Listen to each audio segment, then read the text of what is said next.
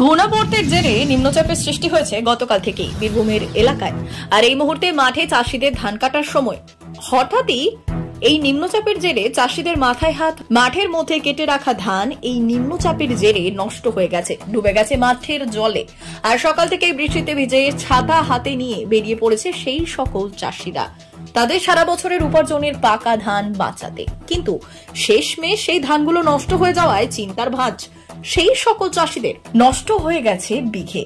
তাই সকাল থেকেই মাঠে জল নামাতে জন্য কোদাল হাতে নেমে পড়েছে সেই সকল চাষিরা। তাই? মাঠে জল কাটতে এসেছি। সব বৃষ্টিতে ডুবে আছে ধান। কি অবস্থা? অবস্থা বলতে একদম ধান পচে গেল। যে ধানগুলি কেটে রেখেছেন নিয়ে যেতে পেরেছেন?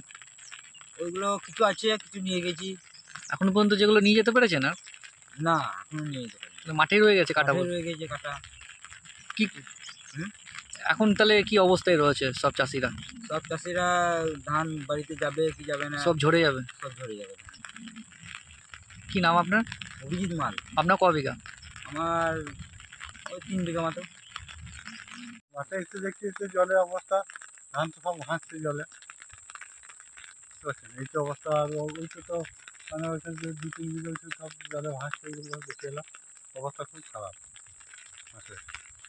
কি ভেবেছিলেন যে এরকম বৃষ্টি হবে? না এরকম তো ভাবি না আমরা তো ভালো ভালোই হবে ধান। ভাবি তো নিচে ধান কিন্তু এইরকম যে দুর্দশা হবে সেটা আমরা ভাবতে পারিনি কি এখনও পর্যন্ত কতগুলো বিঘে কত বিঘে ধান কাটতে পেরেছেন? মোটামুটি বিঘা আড়াই কাটে দিয়েছে। কি নিয়ে যেতে পেরেছেন বাড়িতে? কি অবস্থায় রয়েছে খারাপ অবস্থায়। মাঠেই পড়ে আছে? হ্যাঁ মাঠে আছে সব। সব ধান মাঠে আছে। কি করতে এসেছেন? এখন দেখতেছি কি কি অবস্থায় যদি যে মাঠে সব ধান মাঠে এসছি কি জল ভরে গেছে নাকি সেটা দেখতেছি জল ভরে গেছে? হ্যাঁ জল ভরে গেছে। জল ভরে গেছে। আপনার ক বিঘা জমি এরকম হয়েছে অবস্থা? জমিতে আমি তো ভাগে এলাকায় আমার তো নিজস্ব নাই হ্যাঁ। ভাগে। কত আপনি কত আমি তিন বিঘা করি ভাগে।